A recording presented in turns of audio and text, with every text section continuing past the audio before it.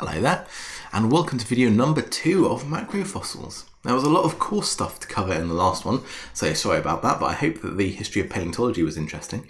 Um, and now we're moving on to some of the biology that you need kind of as background for the rest of this course. And there are three reasons why I think that's really good to include. Number one, just because it's really interesting. I think that's it's well worth focusing on those bits of the our science which are just really fascinating. Obviously, all of it is, but um, I find it then hard not to include it in this lecture course.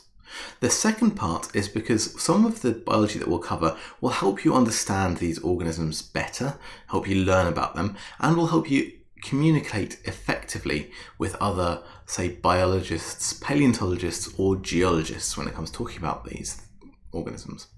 The third reason is because actually you need some kind of a framework to help you understand these organisms and how, for example, um, how they can help us. And one of those frameworks, and one that works well for me, so I've included it in that lecture, is how they relate to each other. I find it far easier to say, remember what a trilobite is by thinking what it relates to. So for each of these organism groups that we're going to be looking at over the forthcoming lectures, I'll be telling you where they are in the tree of life. So I'll be introducing that and its kind of associated concepts over the course of this video. So without further ado, let's look at some background biology and let's start off by um, talking about how we can identify and communicate different parts of an animal. Here is an animal. This is a member of an extinct group called the trilobites we're going to be learning about in the next video. Next video, sorry, in fact, the next lecture, so the next website for this course. This was um, this is a fantastic drawing by a German gentleman called Ernst Haeckel, and on this I've labelled a lot of anatomical directions for you. Now these are really important because they help us make sure that we're referring to the same things when we're talking about different organisms a really good example of why we need this is because if you think about humans, humans are upright, right? There we go. Whereas we've evolved from something that was probably like this. Um, those that change in position may um, change the name that we uh, call different anatomical directions if we're purely talking about functional um, categories. However, by thinking about these things in a slightly deeper sense, we can actually have a useful framework to communicate uh, directions on a creature. So on this trilobite, you can see I've labeled a number of different bits. The first thing that you may want to have a quick look at and consider is anterior and posterior. We use the anterior to describe the front of an organism. In a bilaterally symmetrical organism, this will usually be where its eyes and its mouth and other sensory organs are located on some form of a head. The posterior will often be where something like a tail is, um, is uh, located. So that's anterior, front, and posterior back. You can see on this image on the right hand side here that I've actually labelled two other surfaces, the dorsal and the ventral surface. So the dorsal surface is the top surface of a creature, which we may think of um, as a dorsal view when we're looking from above that organism. The underside of a creature is often called its ventral surface. So ventral. So dorsal view and ventral view of a trilobite. On this ventral view, I've also marked um, medial or axial so these words can largely be used interchangeably in a number of groups, though not all of them. Um, this means towards the middle of a creature when you're looking at it either from above or from below. And to either side of that, um, we call lateral. So for example, the legs, which you can see here, are lateral to this axial bit of the organism.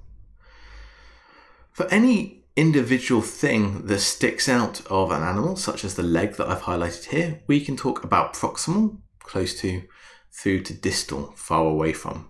So these are all a number of different axes that help you understand um, kind of like the different anatomy and relationships, spatial relationships of an organism. So when I was drawing this diagram, I was thinking, well, how do I um, remember these uh, different orientations whenever I'm trying to think about them. So I provide for you as an alternative to this magnificent trilobite, this magnificent French bulldog wearing a life jacket. So on this French bulldog, you can think of the anterior, uh, the front, as where its head and its kind of squashed nose is. Its posterior is where its uh, semi-tail is and its uh, um, back legs. The dorsal surface is where the handle for this life jacket is situated, and the ventral surface is its belly just here. Uh, someone on Twitter informed me that actually for uh, dogs, people tend to talk about caudal and rostral rather than anterior and posterior, but there you go.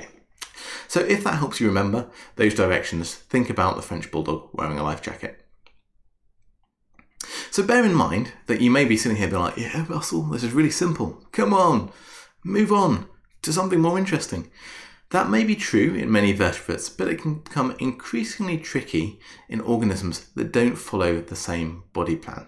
And indeed, I've put a uh, quiz just below this video on the webpage that will help you um, come to that realization, I suspect, when I ask you about the uh, those directions in a group range of different groups of animals.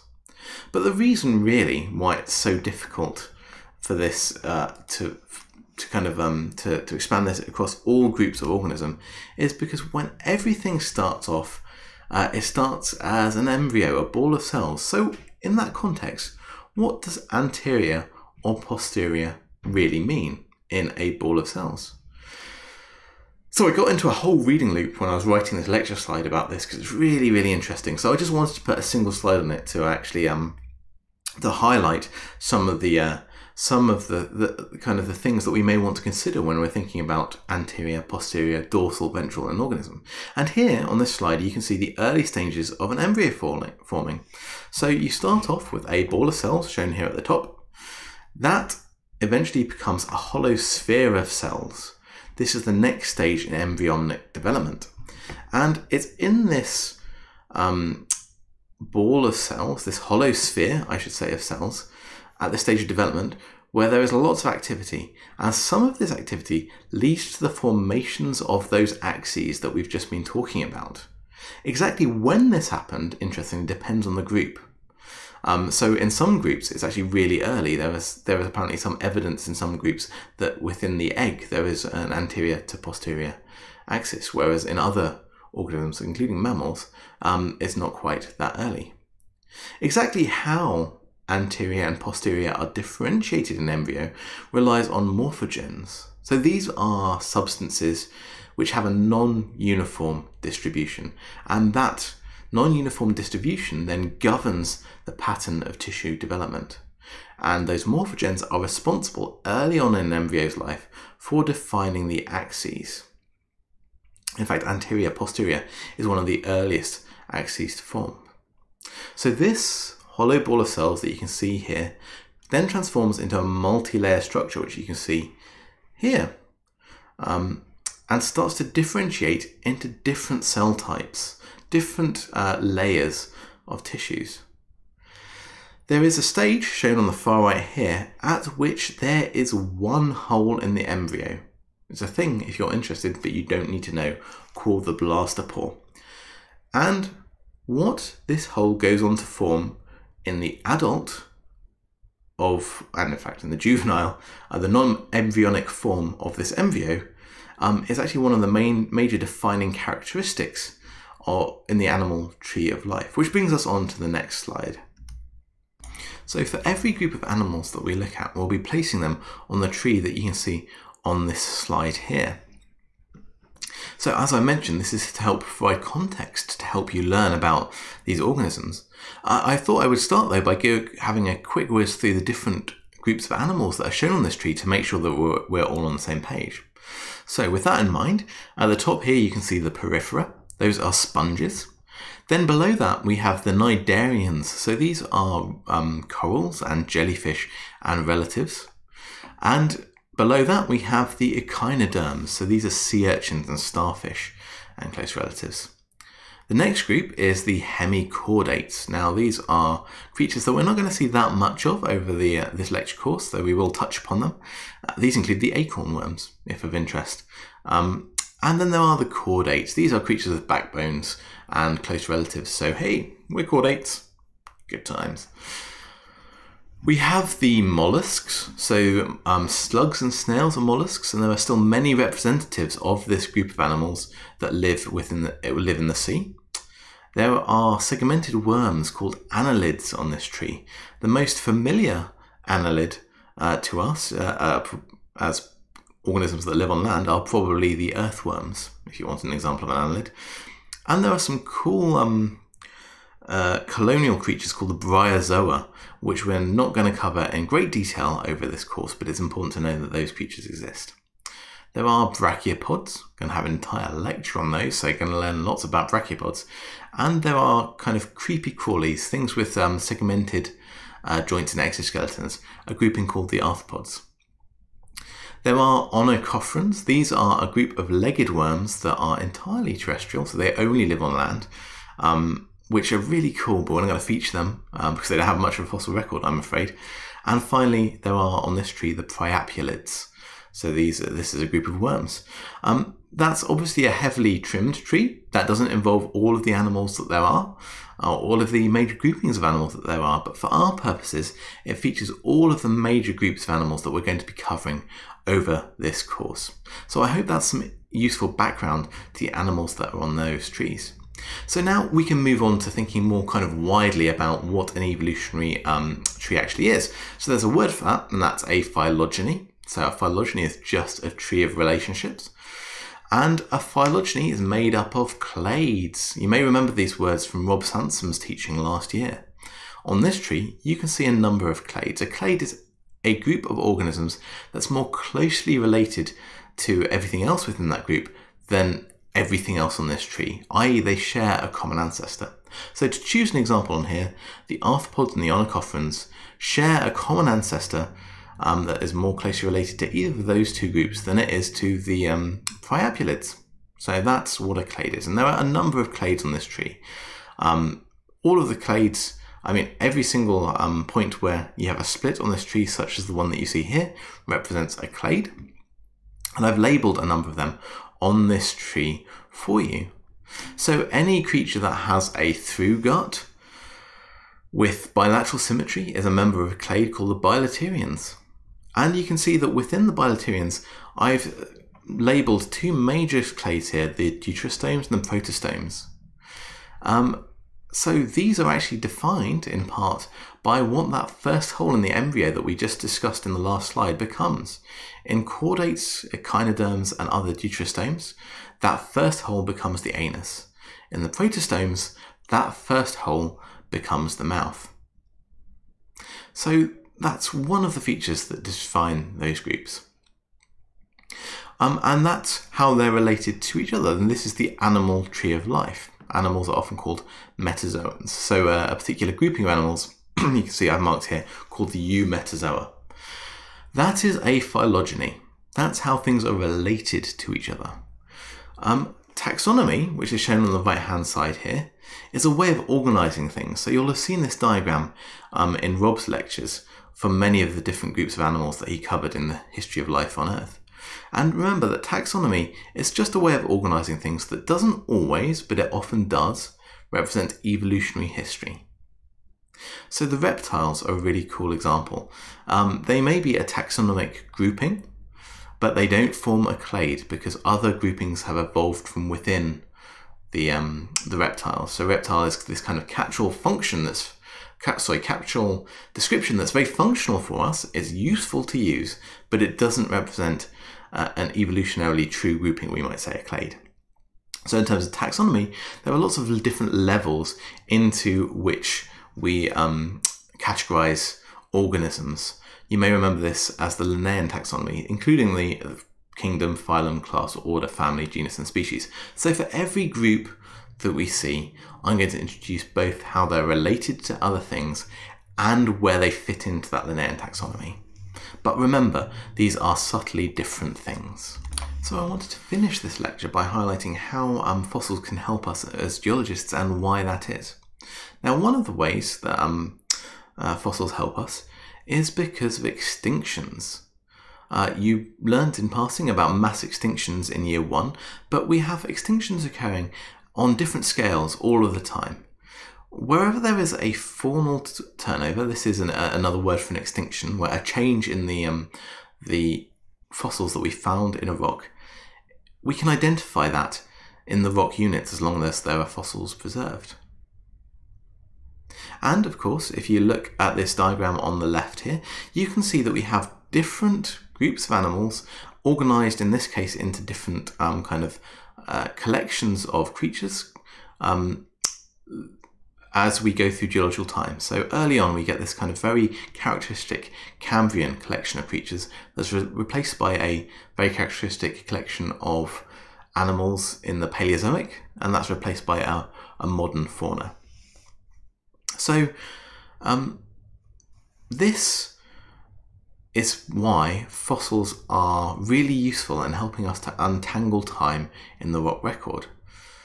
As we will learn about next lecture, fossils are key to building up the geological column at all levels, both in terms of the um, the changing uh, landscape of the changing creatures that are alive at any given time period, but also, as shown in the diagram on the right here, through these turnover events where we suddenly see a change.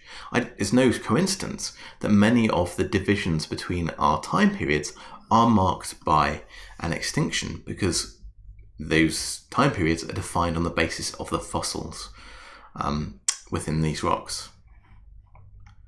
So, over the course of this unit, we'll be introducing um, this approach to using fossils to date rocks, something called biostratigraphy, in a bit more detail for you. So, extinctions help us um, age rocks, essentially. Extinctions and the effect they have on fossils, I suppose I should say. So, that's one reason fossils are useful to us as geologists. They provide the concept of time. But fossils also provide us with environmental information. They are very useful in, for example, the extraction industries, uh, where people are looking for, say, oil, um, to help us understand where those, in what environments those rocks were deposited. And the same is true for um, many other industries as well, including uh, research, for example. So, fossils are key to identifying the origins of sedimentary rocks fossils can indeed be integral to being able to tell the origin of any given uh, unit of rock. So um, you can see an example here of cross-stratified sands. These could be fluvial, tidal, or aeolian. And in fact, these three represent all three of those potential um, depositional environments. So river, as uh, marine, or as part of a desert. And I put a little F, A, and T on there to help you identify which. If you find a rock, say with a marine bivalve in it, it's highly unlikely to be either a river deposited rock or a desert. If you find a, a um, fossil of an organism that we know only lived in fresh water, then it's not going to be uh, a marine organism, and it's not going to be also a marine rock, and it's not going to be one that was deposited in a desert. Mudstones are, for example, notorious for providing little environmental information. They're often deep marine, but they can also be overbank or delta deposits. The fossils will help you say which one of those environmental um, conditions the rock was deposited on, if there are fossils in that rock. They can also tell you about the firmness of the substrate at the point at which the rock was deposited, the rates at which of sedimentation at which of which that rock was laid down, the paleolatitude and climate of that rock, and the depth of deposition, and much more. So we'll be touching on this over the course of our lectures as well. I wanted to finish by um, highlighting that fossils um, are biological remnants, yes, but they're also subject to geological forces, and fossil preservation is very important. This is a thing called taphonomy, which we'll be spending all of the next video talking about. The important thing I want you to take away from this particular slide is that biases exist in fossilization. Hard parts generally preserve and soft parts don't. This matters for us as geologists. Um, less, I suppose, than those who are studying eco- ancient ecosystems to try and work out what was there, but it is still worth noting. And the example I've put here, um, I think, is a really nice one. So this was a, um, a study by George Staff and colleagues who probed the paleoecological significance of the taphonomy of a variety of different nearshore communities sampled over a number of years. So these are communities of organisms living within a um, environment. Most animals in living communities, this study showed, are not usually preserved. But the majority of animals with preservation potential, i.e., those that are likely to be preserved, are in fact fossilized. So, more of these were found, these creatures with hard parts were found in death assemblages than in living assemblages. A death assemblage is just a collection of organisms found in different place and position that they occupied in life. So the effects of time averaging on what is left in the rock record are clearly significant. And in this case, these organisms that survived tended to be suspension feeders or creatures that actually lived in the sediment. These were most likely to be preserved, and thus they modified the signal that we see in the rock record of their ecology. Again, as geologists, as long as there is something there to help us identify what environment that was, this matters less than if we're trying to understand whether everything was, say, a filter feeder during a particular time feeder. But it's still important to remember that when we're looking at what's in a rock, this does not equal what was alive at the time that that rock was deposited. It's just those things that are more likely to, to preserve. Why that is, we'll cover in the next video.